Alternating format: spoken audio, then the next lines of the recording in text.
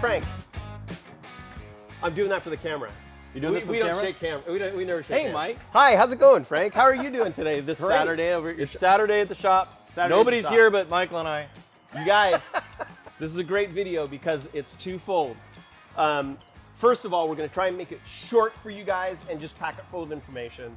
But um, we're going to give you one, like a two minute rundown of the basics of suspension if you're new to overlanding, just getting into this. But for you more advanced guys, we're going to tell you how to really dial in your suspension if you've gone beyond um, just buying a kit. Kits are great, they get you to 80%. Frank, tell us the basics of suspension. Well, the basics, the basics there, your springs hold your rig up on all four corners. Springs hold it up. That's what they do. Shocks dampen it when it goes over bumps. Right. And that's it. It- It's really, really basic. You know, it's So if you guys, if you've been watching the channel for a little while, you guys have seen on my trip videos, sometimes you'll see, you know, a year ago or so. I mean, you, my truck Slam it would down. just bounce. And in fact, I was in the truck with Miguel one time. We were at Expedition Weight. I knew I didn't have decent shocks. I was on a residential road. I fully compressed the springs and I dreaded the next 30 seconds. because you went airborne. I went airborne. It ca- because I just launched because my springs didn't damp or my shocks didn't dampen the springs.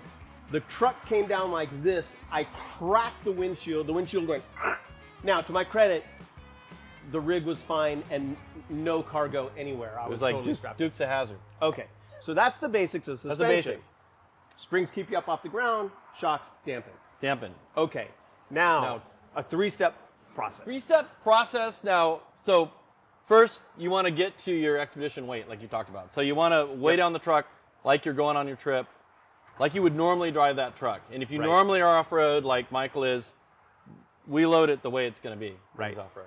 Now I want to say, you guys, you have if you have 24 to 50 gallons of fuel, the weight dynamics of your truck is going to change significantly, and depending on your passengers, it's going to change significantly. So no, you know, if you go out to the parking lot and you're like, I'm leaning this way a little bit, my stock fuel tank is on that side of the truck.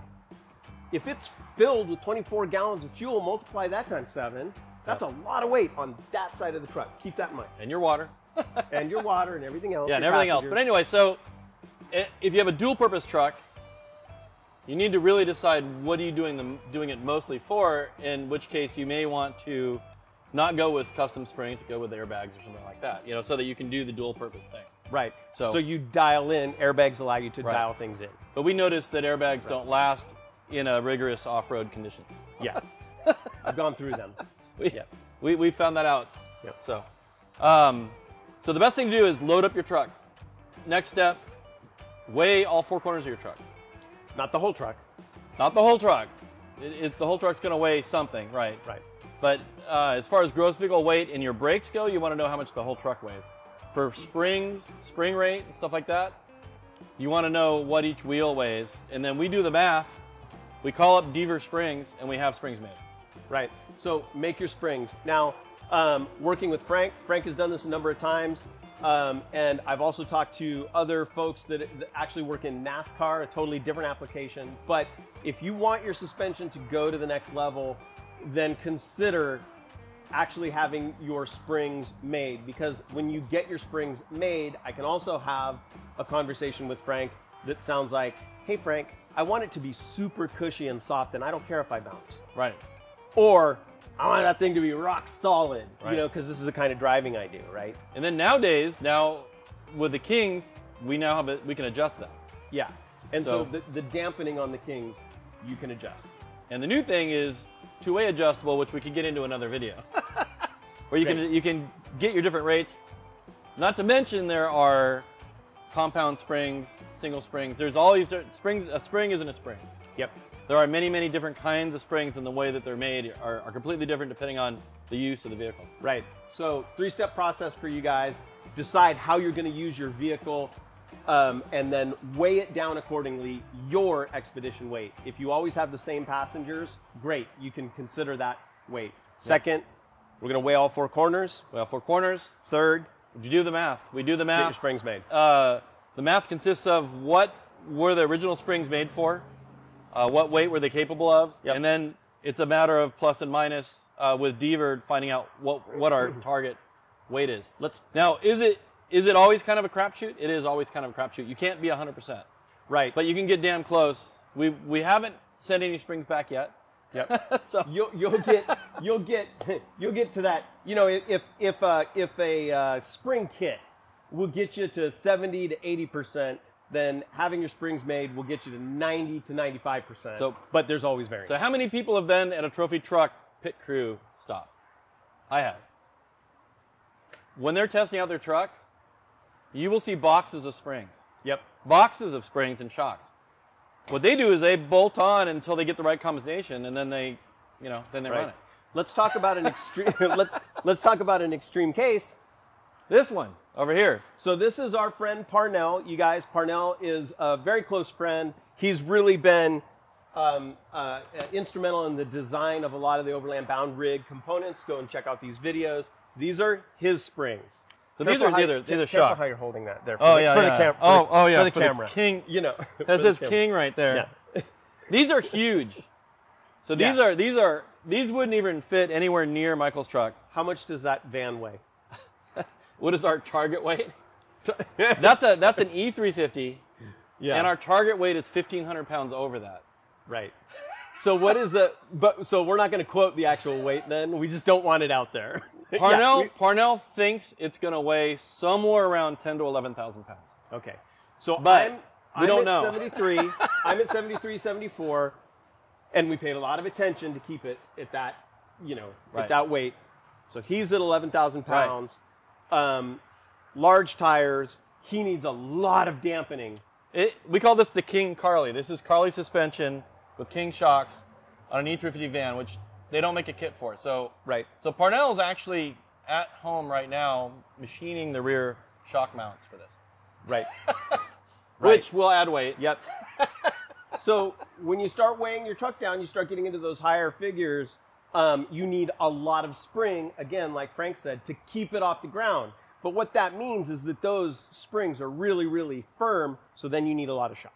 Now, this is this is a we didn't his springs, I was talking about there's different kinds of springs. The springs that came on this E350 van were made to carry a load all the time on on the road like on the highway. Yeah.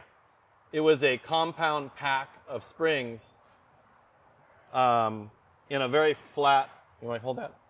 In, in a very in a very flat configuration. So a spring that is flat with compound springs can hold a lot of weight and is pretty stiff.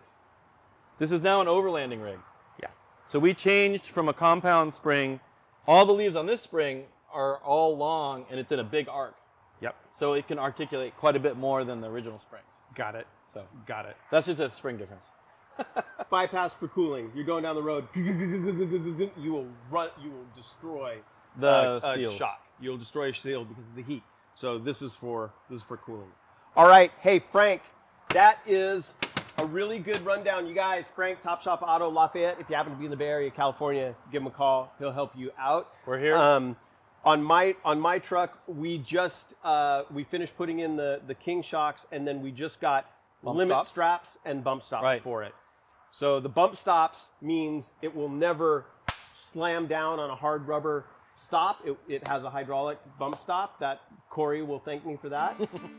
and um, the limit straps make sure the shock stops or the suspension Yeah. stops just short of the um, Full shock travel. fully fully extending to protect the kings. Kings are It- very expensive. You want to protect them. It saves this part right here. Yeah. Cool. All right. Okay, Good rundown. good.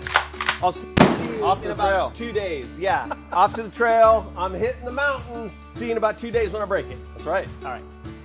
You guys, thank you for watching. Thanks for joining us. Until Take- next time, outfit Take care. and experience.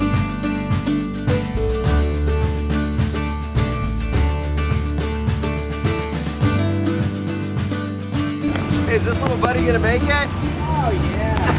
yeah, oh, come driver. Is.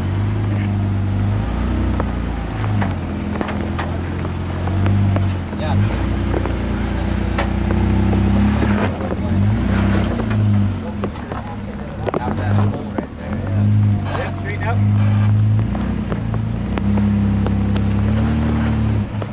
You're gonna do is you're gonna start coming up. You get up the sledge and you go passenger. You might have the length to just go. Yeah, you might not.